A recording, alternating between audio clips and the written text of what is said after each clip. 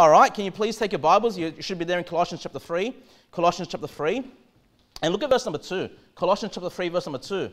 It says, Set your affection. So I want you to notice that word affection there. Set your affection on things above and not on things on the earth. So you notice that, you know, we all have affections. We all have, we would say the word feelings, or the term we often use is the word emotions, okay? And it says to make sure that, you know, we put our emotions, our affections, our feelings in the right place. That we obviously in this passage, this verse, on the things above, on the heavenly things, the spiritual things, rather than putting all our feelings and emotions on this earth alone. Drop down to verse number five. Drop down to verse number five. It says, Mortify therefore your members which are upon the earth. Remember, we're not to have our affections on the earth. What kind of things comes out upon this earth? Fornication, uncleanness. Notice the next word. Inordinate affection. Inordinate affection. Evil concupiscence and covetousness, which is idolatry.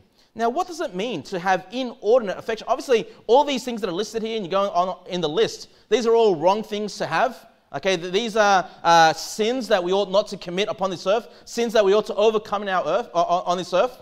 But it says inordinate affection. Inordinate. What does that mean? Well, think about the word inordinate. You know, now we've got the prefix in there, and that's a that's a negative prefix, inordinate. Now think of the next word, ordinate. That sounds like order, right? So it's it's it's contrary to things that are in order. All right? You know, we would use the word disorderly. We don't want to really use inordinate, uh, inordinate. We would use the word disorderly. Okay? So when we talk about our affections, inordinate affections, our affection, when we think about something being in order, we believe, you know, we understand it being in the right place, in, in the right framework, right? In, inordinate affection is the opposite. It's your emotions, it's your feelings, it's your affections all over the place okay? Not within certain boundaries, not in order, okay? And we would, uh, the word inordinate, if you just looked it up in the dictionary, it means large, excessive, or unrestrained. Obviously, it's not in order. It's, it's unrestrained. It's breaking out of those boundaries. And so, what we read there in verse number five, inordinate affection, is something that we are to overcome. So, when we think about that, when it comes to our feelings or our emotions, when you have excessive, out of control, out of, you know, unrestrained affections, this is something that God wants us to fix in our lives. And so the title for the sermon this morning, brethren, is Learn to Control Your Emotions. Learn to control your emotions. Now, when it comes to children, it's very easy for children to lose their temper. You know, little babies, they, they, they start to cry about every little thing, right? Uh, you know, a, a, little child takes another child's toy and they're bawling their eyes out. It's like the end of the world as far as their emotions go. Obviously, if I took something that you wanted to have and I took it off you, you get a little bit upset, but you're not going to start bawling your eyes about it, right? It's not going to be the end of the world for you. But you know, this is something that children need to learn as they mature, as they grow. Not only are they growing physically, uh, not only are they growing with knowledge, but they also need to learn how to control their emotions. This is why it's important sometimes for parents to just pull out that rod, that rod of discipline sometimes when your children are having temper tantrums. You know, they're losing it. You're taking them to the shops and they want something at the shops and you say no and they start to lose it. Brethren, you've got to, you got to teach them.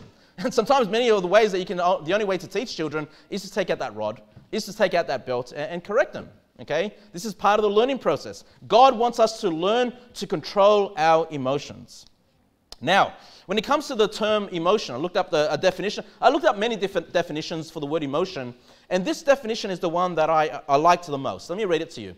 Uh, it was from dictionary.com, but the definition is an affective state of consciousness in which joy, sorrow, fear, hate, or the like is experienced. It said an affective state of consciousness. Now it keeps going. It says, as distinguished from cognitive and volitional states of consciousness. Okay? So it's different from cognitive or volitional states of consciousness. So that goes over my head a little bit. Let me explain a little bit to you, okay? When we talk about volitional, you know, uh, we talk about, you know, that's where kind of the word voluntary comes from, volitional. Um, it's kind of like you make decisions or you do certain things just because you want to. Just because, you know, it's your preference.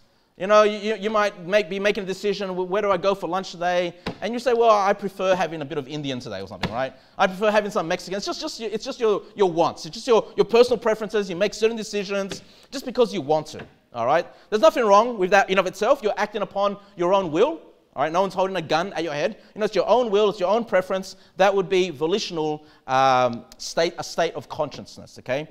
So when we talk about these different areas, th- these are um, decision makers for us, you know, uh, or, or responses to certain situations that, that we would then make a decision and move forward with that decision. So you've got these different things. You've just got what I want to do, my, my personal preference.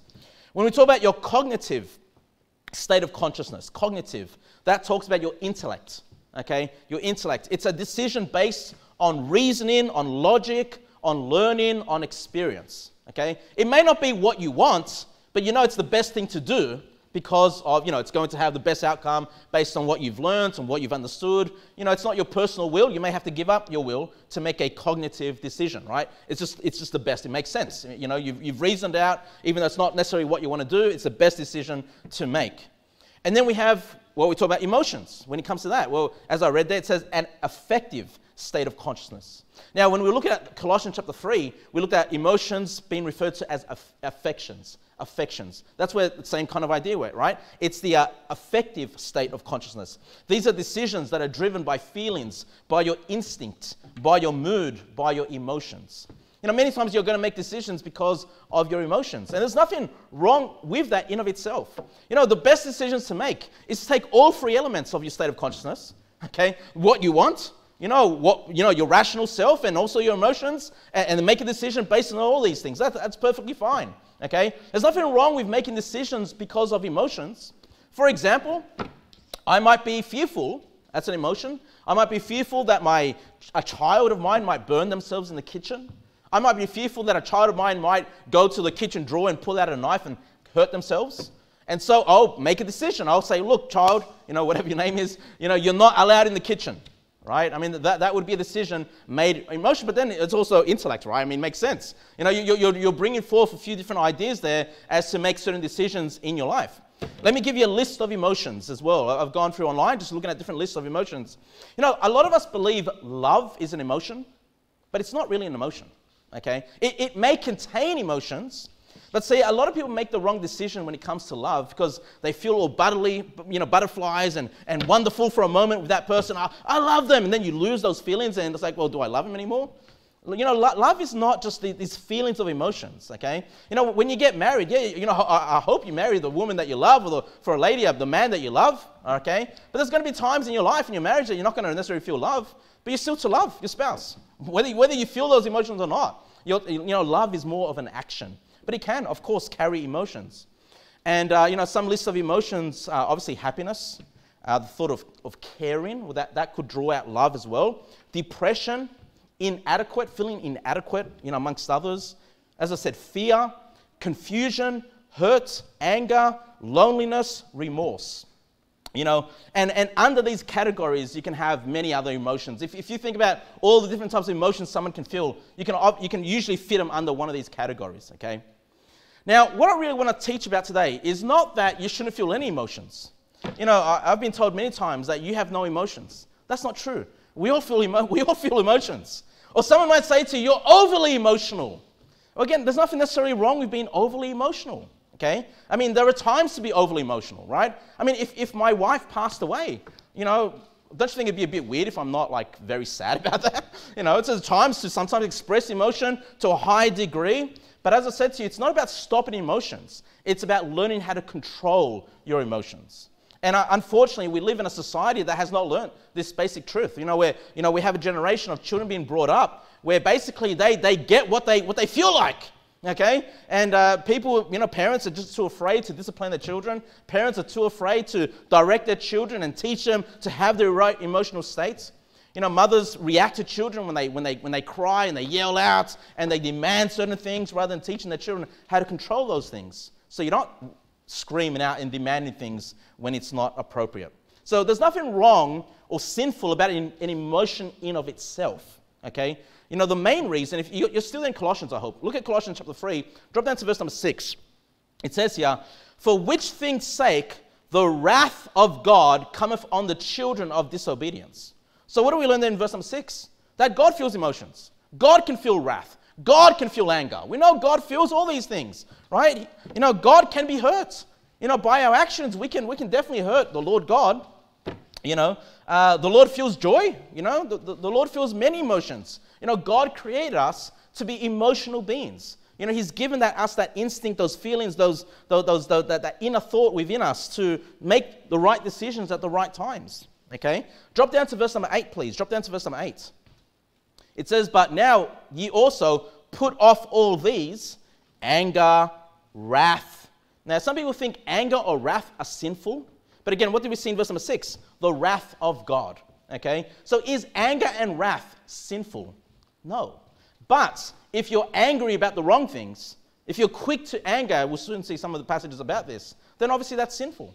Okay? There are times to get angry, and there are times to not get angry.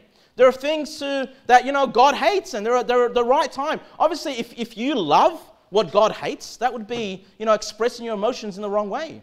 You know, we, we understand that we ought to hate the things that God hates. We understand that we ought to love the things that God loves. When you have the right balance of these things, there's nothing wrong with those emotions that come out of the, in, in, that situation. Okay? Uh, so again, verse number 8 says, uh, be, uh, But now ye also put off these anger, wrath, malice, blasphemy, filthy communication out of your mouth. Drop down to verse number 12, please. Drop down to verse number 12. And of course, I'm not going to, I'm not preaching for this whole chapter in any great depth. I'm just trying to show you that Colossians chapter 3 is, is a great chapter about emotions. Okay? We learn that God has emotions. Of course he does. Okay? Nothing wrong, sinful with emotions in of themselves. Verse number 12. Put on therefore as the elect of God, holy and beloved, bowels of mercies, kindness, humbleness of mind, meekness, long suffering, forbearing one another, and forgiving one another. If any man have a quarrel against any, even as Christ forgave you, so also do ye. Look at verse 14. And above all these things, put on charity, which is the bond of perfectness. And what series am I going through? I'm going through the Perfect Man series, all right? And so you notice that verse number 14 speaks about this bond of perfectness. This bond is the unity of the brethren, okay? Uh, the Apostle Paul here is teaching the Colossian church how to be united. What is this bond? What's going to keep us together? Hey, what's going to keep New Life Baptist Church together? it's the bond of perfectness, which is charity.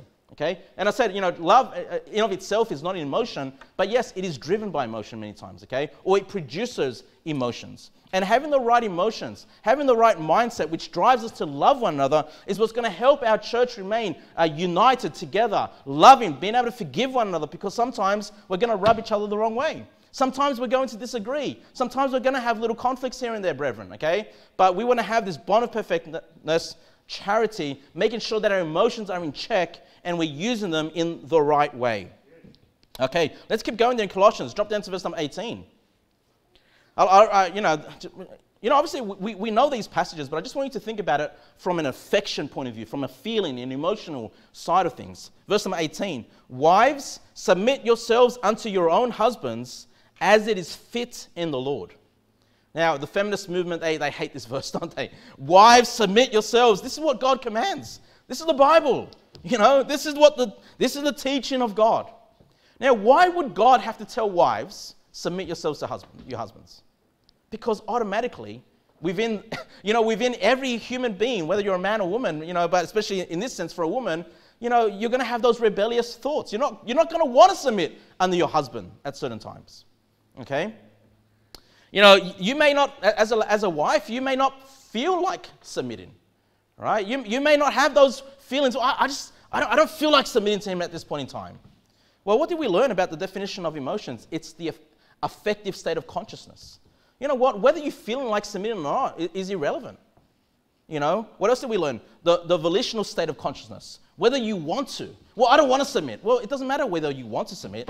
It doesn't matter if you feel like submitting. Okay? This would come into the cognitive state of emotion. Okay? The rationale. Well, God tells me this is what I have to do. God tells me the best leader in the family is my husband. Okay? He's going to be the one that goes out and takes care of the family needs. He goes out and works a job, make sure we have all that we need. You know, according to God, the man, the husband, is going to be the best leader. And, and whether I feel like or not, whether I want to or not, I'm going to have to set those decisions aside and I'm going to just trust what God says. You know, many times we make decisions, it's not our will. We just have to submit ourselves to God's will. God, what do you have for my life? And, and, and for the lady here, the, the basic idea is this, ladies, is that when it comes to your husband, you know, the reason God has this for us, sometimes you make decisions because of your emotions. You know, and, and if you're not submissive to your husband because of your emotions, then your emotions are not in check. Okay, you, you've not learned to control your emotions. If, if it's what you want or you desire, you know what? It, it, life is not about what you want or desire. You know, life is truly about serving others. You know, am I, the, am I the head of my wife? Absolutely. Am I the leader of my home? Yes. Am I the main breadwinner? Do I make the most important decisions for my family? Of course I do. But I don't do it just for myself. What do I want? You know, I'm often, most often thinking, what's going to be best for my wife? What's going to be best for my children? What is it, God, that you want me to do with my life? And you know what? Being a pastor of New Life Baptist Church and being a pastor down in Sydney of Blessed Baptist Church, I'm often asking the question, what's best for this church? You know, it's not what do I want? Boy, you know, I, have grown out of that. I'm no longer that little two year old, you know, having tantrums. I want what I want all the time. And as we grow and mature, we, we, we learn to make, control those emotions. You know, we don't make decisions just because of emotions. And ladies, you know, the, the teaching here is that sometimes you won't want to submit because you don't feel like it or you don't want to. It doesn't matter. You know, you got to base your, that decision on your cognitive state of consciousness, which is your rationale. I read this in God's word. I know what God says. God knows more for what, what is better for me than what I know. You know, God knows better than what the feminist movement says. Therefore, I'm going to go with what God says, regardless if you understand it. Okay, you understand that God knows better than you do. And you say, well, Pastor Kevin, you always preach against the ladies. No, I don't. Here's the next thing for the men. Next verse, number 19. Colossians chapter 3, verse number 19. Husbands, love your wives. You say, of course, no. Again, why does God have to write this in the Bible? Because many times husbands forget to love their wives. That's why. Okay. Instead, what you do, husbands, and be not bitter against them. Sometimes husbands, your, your natural response would become to become bitter toward your wives. Hey, you're now expressing the wrong emotions. All right? You know what? Even if your wife lets you down, you know, even if your wife doesn't meet up to the expectations that you want to, you're still commanded to love your wife. I don't feel like loving my wife. Doesn't matter what you feel like. Okay? This is not about what does my emotion, I've got to be driven by. No, you've got to control your emotions. And if you're bitter against your wife, you need to overcome that bitterness. You know, your wives are going to fail you. Husbands, and husbands, you failed your wives many times. And your children are going to fail you. And, and your pastor sometimes is going to fail you. And, and your brothers and sisters in the Lord are sometimes going to fail you. You're going to just be bitter for the rest of your life. God does not want that. You know, God does not want that in a marriage. It's going to destroy your marriage if you're holding grudges, if you're holding bitterness toward your wife. You know, it doesn't matter. I feel bitter. All right. Well, control your emotions. God says, don't be bitter against them. God says, love your wives. Go and show your wife. Go and tell your wife that you love her. You know, and this is why it's so good, men, even if you don't feel like it, even if your cognitive reasoning says, you know what, buying these $20 worth of flowers makes no sense whatsoever because they're going to die tomorrow. Or sometimes it's worth just going and get that and showing your wife some love and saying, here you go, honey, here are some flowers. Doesn't make sense to me, but I know this is an expression of my love towards you.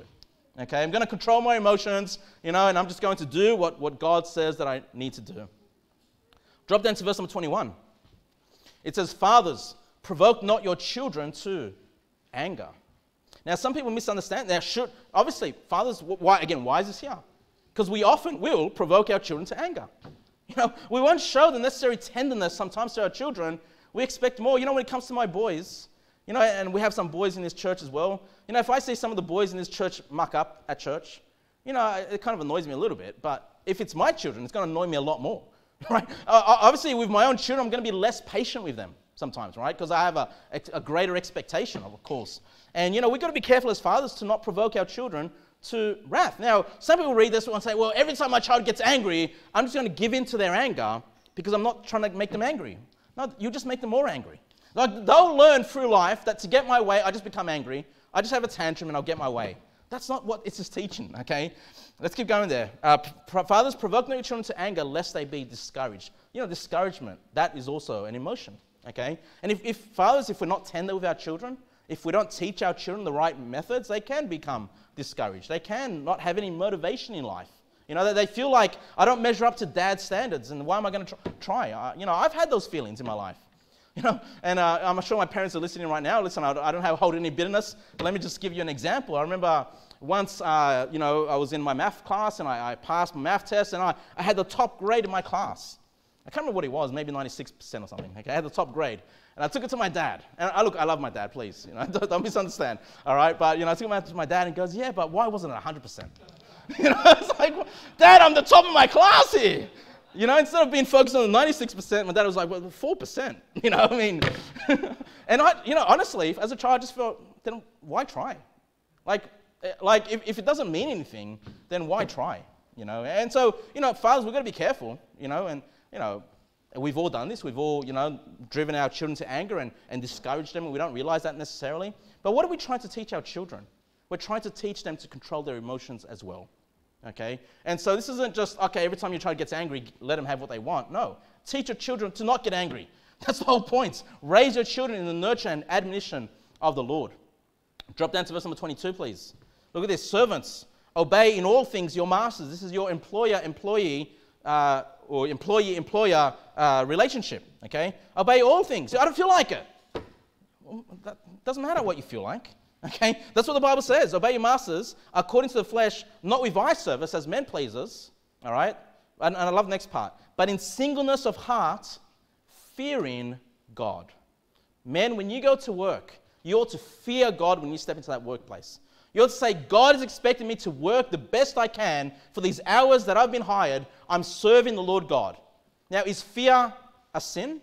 Well, of course not, because the Bible says that we ought to fear God. Now, should we fear man? No. You know, if you're fearing man, that's obviously sinful, but the emotion in of itself is not sinful because the Bible tells us to fear God. We ought to tremble at the Lord God. We ought to be seeking to please him. We know that if we are disobedient children of God, that he'll step in and chastise us. He'll correct us when we do wrong. Hey, we ought to fear that chastisement. We ought to fear that judgment. You know, I'm not talking about salvation. Salvation has been paid for in Jesus Christ. But we ought to have a good, healthy fear of God in our day to day jobs that we do. And for ladies, it's your, it's your household or whatever it is that you do. Okay, for men, when you go out to work, fear God when you step into your workplace. Okay? So you can see this is definitely about our affections, having our affections in the right place. Nothing wrong with fear as long as you fear the right person, which is the Lord God. All right? Now, let's keep going there. Can you please turn I think I'm out of, yeah, sorry, yeah, Colossians. All right, so we can move away from Colossians. Please turn to the book of Proverbs. Proverbs chapter 15. Proverbs chapter 15, please. We obviously know the book of Proverbs is the book of wisdom. So I always like to turn to the book of Proverbs quite often when I preach, just to get some thoughts around, you know, what does God truly have to say about this? You know, if we, if we want to learn and grow and, and we understand, you know, we need to control our emotions, what does God have to say to, about our emotional, our emotions, or if we lose control. Let's look at Proverbs 15, please, verse number 18. Proverbs chapter 15 and verse number 18. Now, this is the, the question about anger and, and wrath. Is it wrong to get angry? Is it a sin? A lot of pastors teach, a lot of churches teach that anger is sinful. Let's see what the Bible says here in Proverbs 15, verse 18. A wrathful man stirreth up strife. The Bible says if you're a wrathful man, you know, you're known as someone that loses his temper and gets angry, you're going to cause strife. You're always going to have problems around you. You're always going to have conflicts around you. All right, so maybe Pastor Kevin, maybe anger is sinful. No, what's the next part of the verse say? But he that is slow to anger appeaseth strife. So it's fine to get angry, but the Bible says be slow to get angry. Okay? You know, in other words, control that part of emo- your emotion. We know that anger is something that is so easy to spark. You know, if you're just having a, a, bad day and something doesn't go your way, or someone cuts you off in the traffic and you got the road rage. No, the Bible says be slow to anger. You might be fast on the streets, but when it comes to someone cutting you off, you got to be slow to anger. Okay? And it says being slow to anger appease of strife. It helps not create strife. Okay? When people see you in control of your emotions, when maybe they expected you to lose it, you know, it's going to cause some peace and harmony, you know, be able to reconcile things and get things, you know, sorted between people rather than being all conflicts and strife everywhere you go. So again, is anger or wrath sinful? No. Can it be sinful? Yes. If it's applied the wrong way, if you're quick to anger. But hey, if you apply it in the right way, hey, we ought to get angry about certain things. We ought to be angry about our sins. You know, the reason I go and discipline my children is I get angry when they're disobedient to mum and dad. When they've done something wrong, I, I get angry. But listen, I don't go and discipline my kids out of anger. Okay? I, I'm not just like, all right, let's just fix this up right now. I'm like, look, I get angry that they've committed such a sin, But then I know the right purpose, what God teaches, is then to teach my children, to chastise my children, so they, they don't make the same mistake again. You know, we, want, we don't want to be parents that lose our temper every time our children just do something wrong. We, yes, discipline is correct, but we also train them, teach them. Why was that wrong? You know, what should you have done in this situation? Etc., etc., etc. Okay? Can you please go to Proverbs 27 now? Proverbs 27, verse number 19.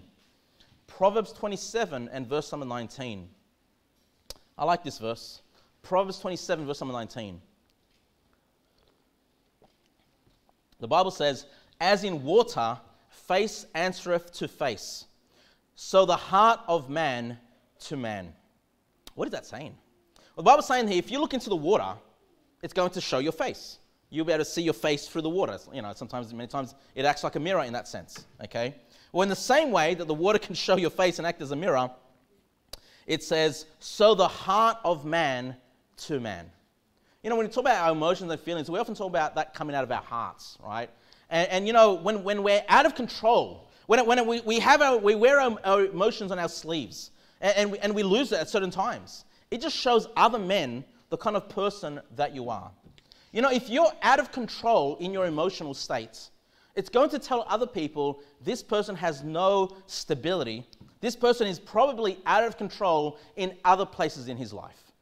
Hey, but if they see that you've got control of your heart, got control of your emotions, of your affections, what's that going to tell other men, other people that look at you? They're going to say, hey, this person's in control. This person's stable. Hey, this is somebody that I can trust. Okay, this is someone that I can share my concerns and worries to potentially because of how they demonstrate their emotions. You know, there are people that think, you know, you know being uh, hot tempered or, or sh- having their emotions on the sleeve, you know, shows people how strong they are. It actually shows you how weak you are, okay? Because you're lacking self control. You have got inordinate affections and not in its proper boundaries. It's not in its proper place. You think you're showing yourself to be strong, but everyone else around you knows this person's very weak. This person is very unstable, and they're not going to trust you. Okay? So be careful of your emotions. The Bible's teaching us it's like a mirror. It tells other people the kind of person that you are. All right? Please turn to another proverb, Proverbs chapter 25. Proverbs chapter 25, please, and verse number 28. Proverbs chapter 25 and verse number 28. Proverbs 25, verse 28.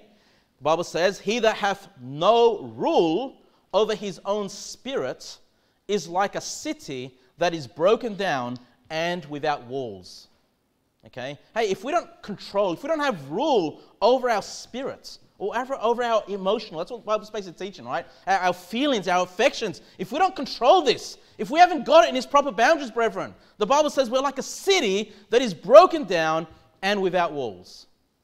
I mean, that, think about that, okay? Your life, God says your life is like a broken down city, no walls. So, you know, in what sense? Well, if you can't control your emotions, it's going to lead to your family being broken, you know, divorce and, and, and things like that, okay? Or, or, you know, just damaging the relationships in your family. You're going to break it down if you can't control your emotions. Your finances potentially could be broken because of your emotions. You know, making bad decisions because of your emotional state. You know, your reputation will be broken. You know, your productivity you know, you producing whatever you need to produce, whether it's in the workplace or whatever job or hobbies that you're trying to do, hey, that's going to be broken down because when you're emotionally out of control, you're not going to put your best work forward, are you? You know, you're not going to be able to think clearly. You're not going to have the focus to be productive in your state. You know, these are different areas of your life that will be broken down like a broken city. But not just a broken city, it says, and without walls. Without walls. Of course, we think about walls, we think about boundaries. Okay? We're trying to rule our emotions, our feelings within walls, within boundaries. Control your emotions is the title for the sermon this morning.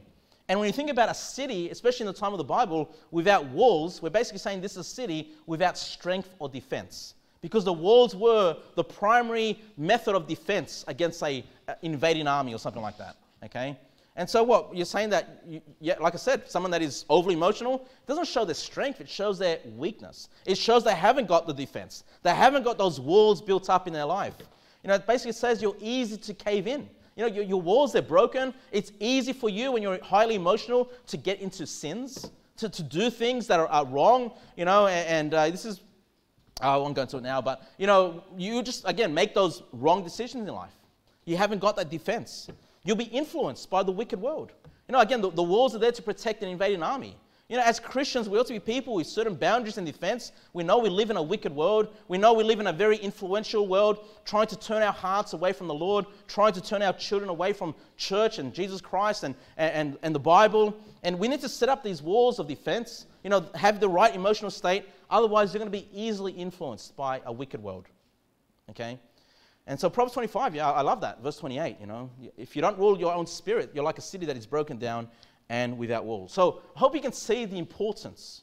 You know, yes, emotions are great. Thank God we have emotions. It helps us make good decisions in life as long as they are in control, as long as they are within the right boundaries. Okay? But when we when they're not in control, we're going to be a broken down city. It can hurt our lives, hurt our relationships, etc., etc. All right. Can you please turn to uh, where can I get to turn to? Turn to Psalm 23, please. Turn to Psalm 23. Let me give you some other reasons that we ought to control our emotions. You turn to Psalm 23. Another reason why we ought to learn to control our, our emotions is because if we don't, brethren, we can grieve God. We can cause God grief because we've got the wrong emotional state.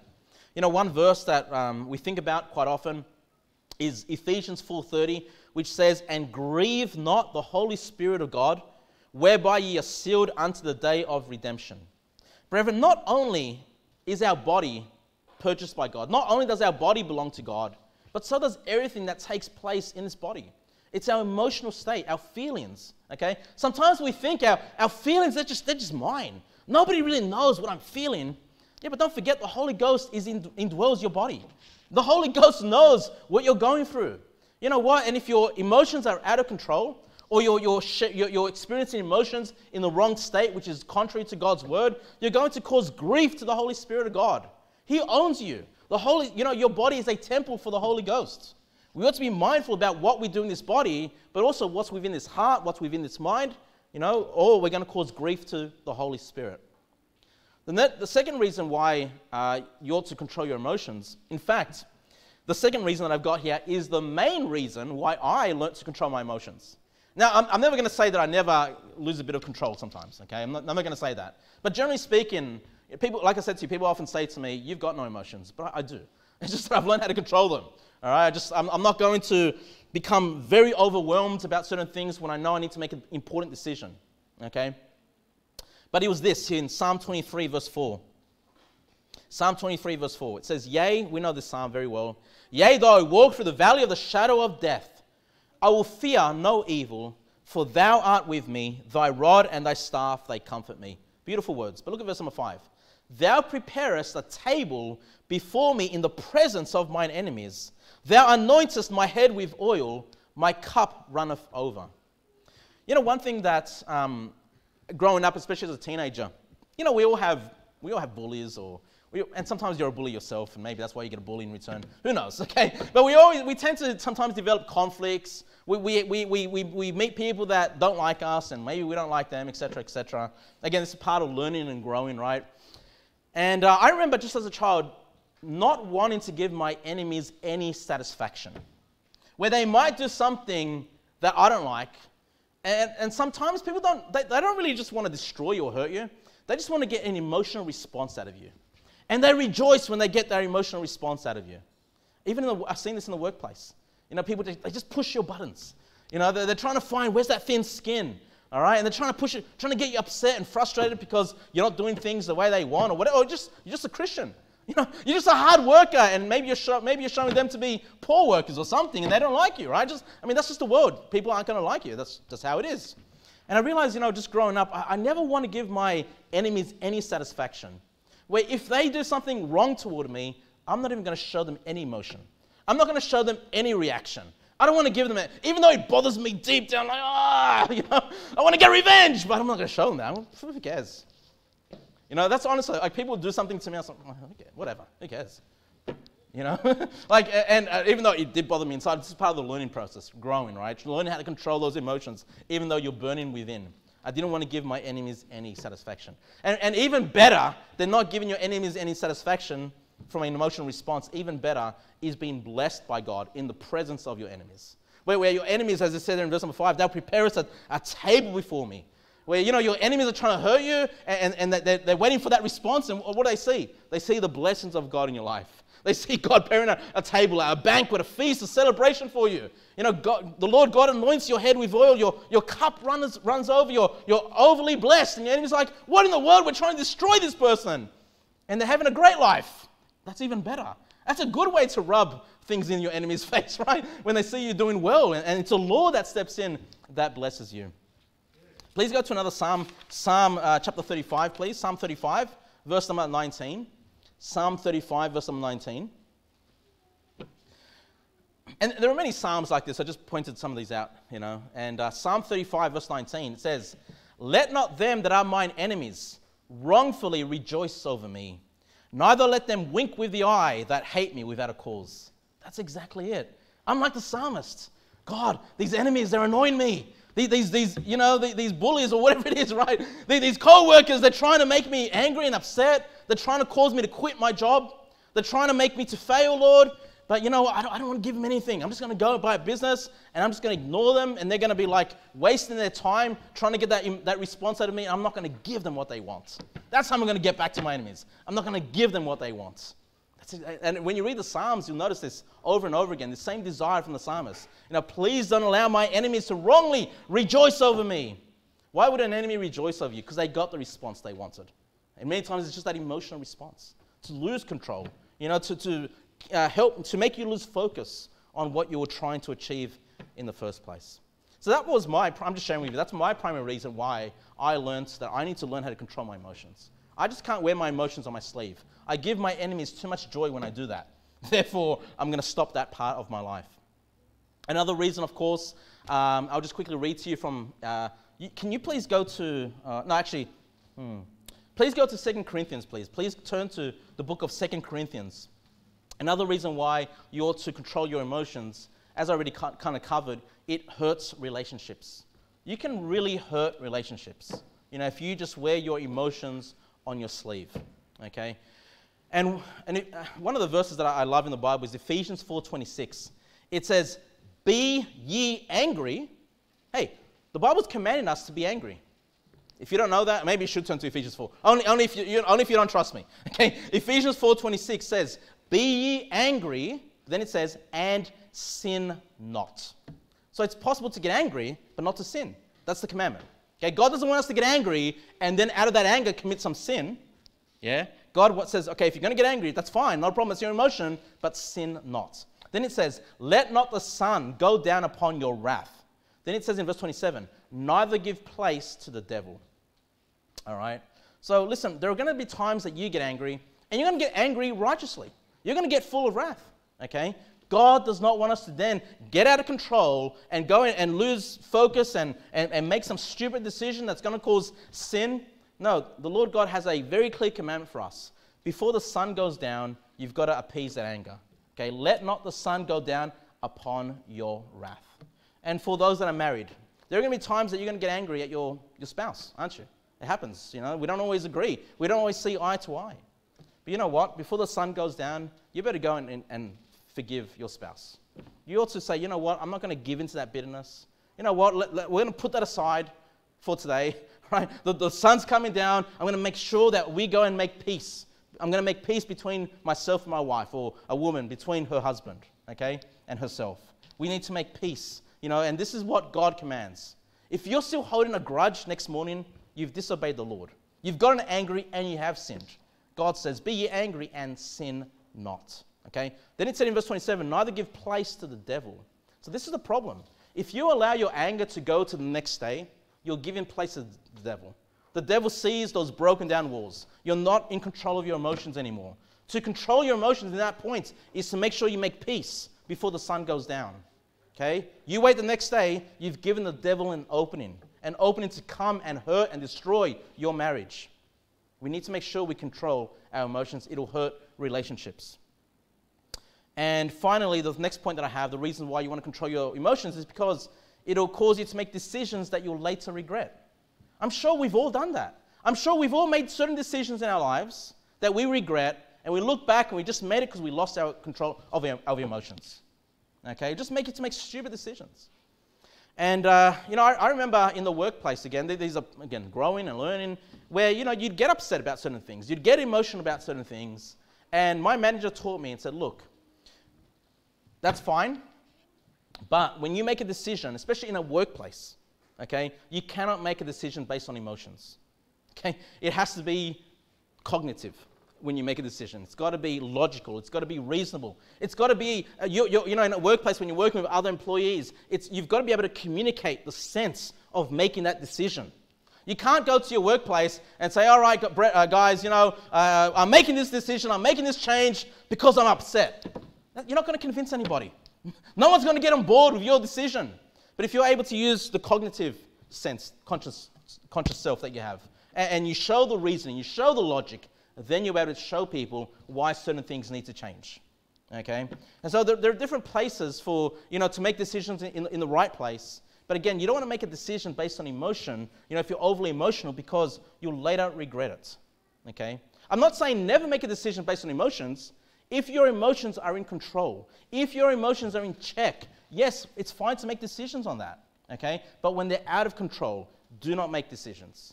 You know, if they're out of control, don't discipline your children while you're emotionally out of control. Get into another room if you need to in the house, cool down, calm down, think about what's taken place, think about what the corrective action should be, then go and sort it out. Okay? You don't want to make decisions that you'll later regret. Now you're there in 2 Corinthians chapter 6. 2 Corinthians chapter 6. And I just want to show you that, you know, even when it comes to the Apostle Paul, you know, we've gone through the books of, of Corinthians as a church before. We've gone through 1 Corinthians, 2 Corinthians. We know that the Corinthian church was really messed up. You know, sometimes people say, oh, but this church has this problem. This church has that problem. Yeah, have you read the book of Corinthians? I mean, look, uh, if, if, if, if the Lord God is still encouraging the Corinthian church to move on and, and, and recover and push on and serve the Lord, then, you know, there's no reason to just give up on some church because they've got this wrong or that wrong. I mean, some, many times people bring up issues with me about churches, and I just think, man, read the Bible and look at all the problems that were in those churches. You know, they're like, it, it's not worth sometimes the, the arguments and conflicts that you create because of this or that situation. Okay? But anyway, you've got the Apostle Paul. He's speaking and correcting this Corinthian church. He calls them babes in Christ. He calls them carnal. You know, he says that you're, you know, you, you just love men. You, are not, you're, not, you're not people that are trying to serve Jesus Christ, right? You know, they were like, I'm of Paul, I'm of Apollos, I'm of, uh, who else? Cephas, you know, they, they, you know, they're just men followers. You know, they, they got their, their favorite preachers, and I just, I just got to listen to that one favorite preacher and no one else. And, and Paul's just calling them out for their immaturity. And, and of course, you know, that's going to create tension. From the, and sometimes when I preach sermons, right, and I step on your toes a little, I don't intend to step on your toes. I'm, I'm here just to preach the Bible. But sometimes when you're preaching the Word of God, the Bible's a, a, mirror as well. It's going to, you know, slap your face a little bit. It's going to step on your toes, and you're going to feel a bit uncomfortable, and you're going to get emotional and, and upset, right? And it can cause tension. It's, I've really experienced that. I've really experienced that sometimes just preaching God's word just causes tension. You know, you don't want to, it just does. And that's what, you know, what the Apostle Paul is going through. He's, he's just trying to correct this church. He obviously loves the church. Obviously, he wants them to do well. He wants them to serve God and, and earn the great rewards in heaven. But there's tension. And when you look at 2 Corinthians chapter 6, verse 11, 2 Corinthians chapter 6, verse number 11, Paul says to the Corinthian church, O ye Corinthians, our mouth is open unto you, our heart is enlarged. He says, Look, Corinthian church, you know, our heart is enlarged, right?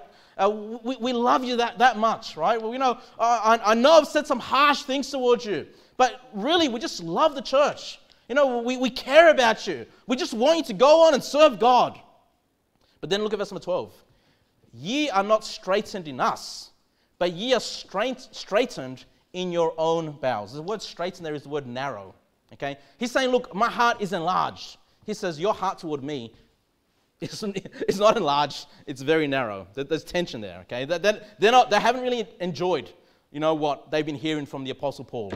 And, you know, it, it, that idea that it's in your bowels is the other idea of, you know, your, your heart, your, your emotions, right? We often talk about our emotions coming from within. And that's what he's saying. It's like, you know, you've got this tension, you know, you, you don't really love us the way we love you in return.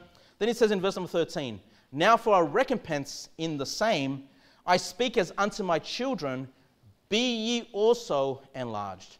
He says, Look, uh, you know, I'm correcting you, I'm speaking to you like you're my own children. Think about how much a parent ought to love their own children.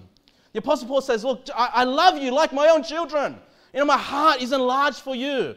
And you know what? In return, your heart ought to be enlarged for me as well, even though there's tension. And, brethren, this is the reality of life. You will have tension, you will have conflicts. You will have little arguments with your brothers and sisters in the Lord. You're going to have arguments with your family members, etc., etc. Make sure your heart remains enlarged. You know what? If, if you truly want to just help somebody, if you truly just want to give your opinion for the benefit of others, keep your heart enlarged. Don't narrow it down, even though there's a bit of conflict. Keep it open. Keep your emotions out there, showing people that you care for them, that you, you truly just want to see the best for them. But when you shut down, okay, what's that showing? That you don't want to reconcile. You don't want to learn. You don't want to grow. You don't want to see it from someone else's point of view, okay? And I, I, I just love it when I see these tensions because then I can say, oh man, yeah, that's happened for me. or that's happened, you can probably say, that's happened with me. You know, I, have tried to reach out to somebody else. I love them. I just want them to do the best. And, you know, but I've offended them just by trying to be a help, you know. And it happens. You offend people, okay? Okay, you've probably been offended, okay? And you know what? When you get offended, you know, what's our, what's our millennial generation? Oh, I've been offended, right? Someone has done me wrong. I'm so upset and angry and upset. You shouldn't have offended me. Grow up. You're going to get offended. You're going to get offended. All right? And then you stop and say, Why am I offended? Maybe my brother loves me. Maybe my brother has said something that's going to help me and benefit me, and I just didn't like it, but actually, his heart is enlarged. He's trying to show me leadership and, and trying to be support toward me, but I just didn't like what he had to say and I got offended. So, what if you got offended? Big deal. Just because you got offended doesn't mean someone has sinned against you. Now, sometimes someone has sinned against you, you might get offended because they've sinned against you. But many times, what I've seen at least, is that people get offended because no one has, no one has sinned against them. They just didn't like someone else's opinion. We've all got opinions, you know, and we're not always going to be the same. You, you know, I'm not trying to develop a church where we have the exact same opinions. I hope we develop a church that has the same goals. I hope we develop a church that has the same love for God and desire for God. But you know what? There are many ways of doing things. When, if I'm trying to teach you, have the same opinion as me, do everything exactly like me, brethren, I'm not leading you to Jesus Christ. I'm leading you to be a follower of Kevin Sepulveda. I do not want a cult following. I don't want everybody to raise their children the way I raise my children. I don't want all the men to be like me. I don't want all the ladies to be like my wife. Okay? We all have different ways of doing things. This has been a big part of the Perfect Man series, as long as it's consistent with God's word and we're looking at our emotions, our affections today, as long as your affections and emotions are within boundaries, they're in control, you're not out of control. Brethren, if your emotions are out of control, give nobody advice. okay? Don't give anybody an advice. Go and cool down, go and calm down, and then go and deal with that situation. All right, brethren, let me just end on this point. Well, actually, I've got a little things here. Just three things that I think is going to help you have a better control of your emotions. Okay? Now, I, I, don't know. Maybe, maybe you can say to me, uh, I have sometimes, I lose control of my emotions. I get overly emotional. I get overly offended. I get overly worried. I become overly fearful, etc., etc., over the wrong things. What can I do to help me? Number one, and this is basic know the Bible. Know the Bible. Know what God has to say. Know what God loves. Learn to love what God loves. Know what God, God hates. Learn to love, uh, sorry, learn to hate the things that God hates. Learn what God gets angry about. Don't do then. Once you know what God gets angry about, don't do those things that will get God angry towards you. Know the Bible, okay? Emotions are not wrong. But what you want to do is see how does God look at certain emotions. Fear is not wrong. But don't fear man, fear God. Okay? Have the right place where you're going to put those emotions. Anger is not wrong, but being quick to anger is wrong. Being slow to anger is fine. Okay? You have to know what the Bible says so you can be in check with your emotions. All right? Number two, and I think this is a problem that uh, a lot of people suffer with. I know because people tell me all the time. You have to get enough sleep. Get enough sleep. Brethren, if you don't get enough sleep, you're not going to be in your best emotional state. You know this. You know if you don't get enough sleep, you're, you know, you're, you're discouraged, you, you're lacking energy, you're going to be a little bit more negative in your life, You're not going to be effective. You're going to lose focus and concentration. And when, all, when you start to feel all those effects on your body, you're going to start placing your emotions in the wrong place. You're going to be quick to anger, right? If you haven't got enough sleep and something's upset you, you're going to get angry very quickly. Sleep is such an important part of our life. The Bible says in Psalm 127, verse 1 Except the Lord build the house, they labor in vain that build it.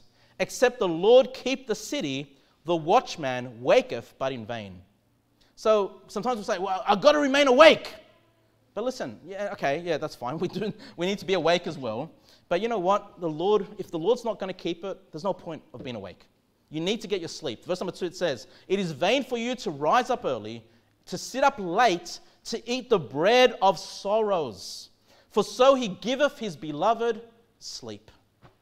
You know what? When you stay up late, you know what? You're going to get into the bad habit of eating the breads of sorrows. I'm so depressed. Life is so sad. I'm not happy with my life. I don't have any friends. No one likes me.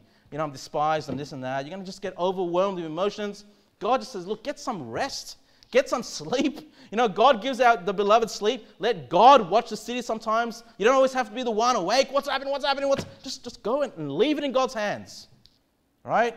You know, you become fearful and worried, and you're like, oh, what's going on? What's going on? COVID, the restrictions, borders, oh, stress, stress, stress. Just, just leave in God's hands.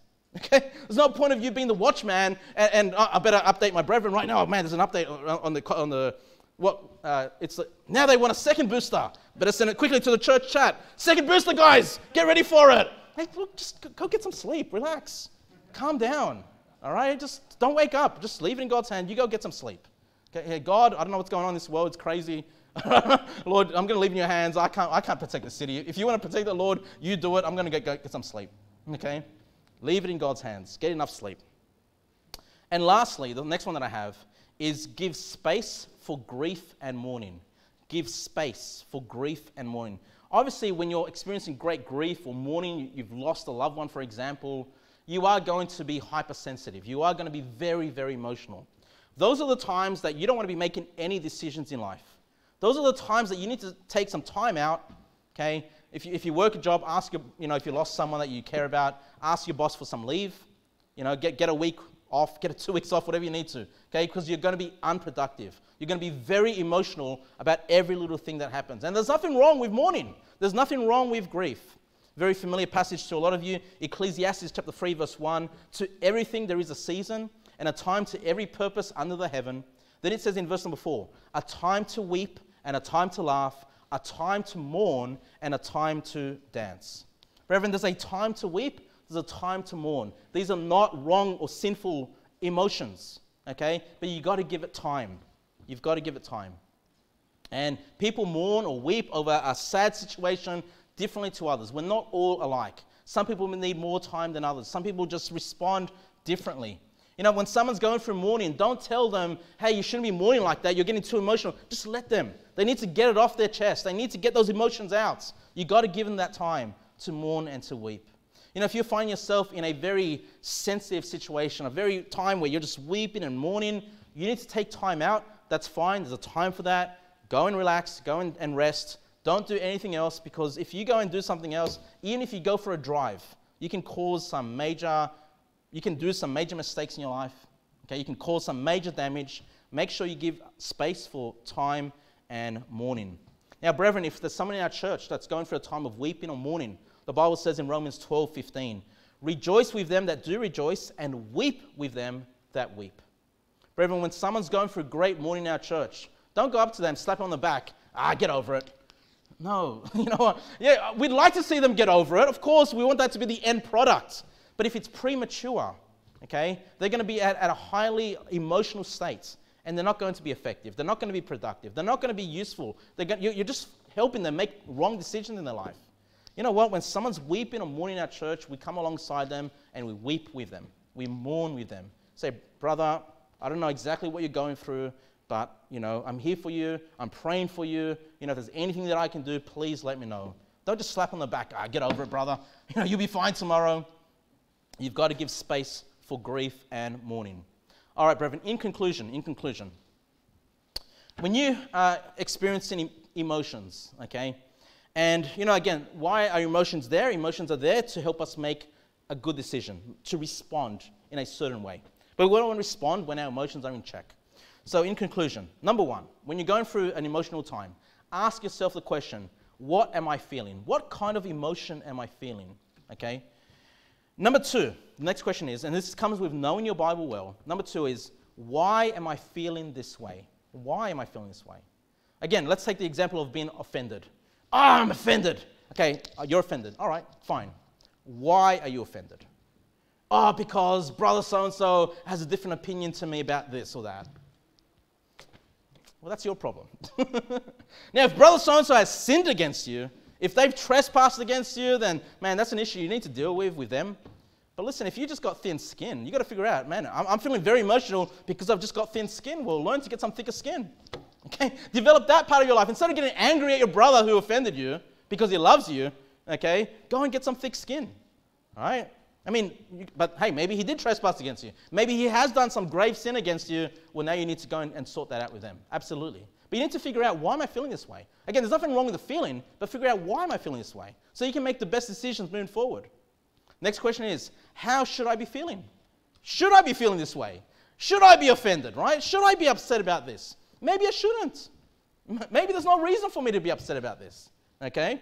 How should I be feeling? Again, that comes with the Bible knowledge because you know with whether your, your feelings are, are aligned with God's word or whether they're not.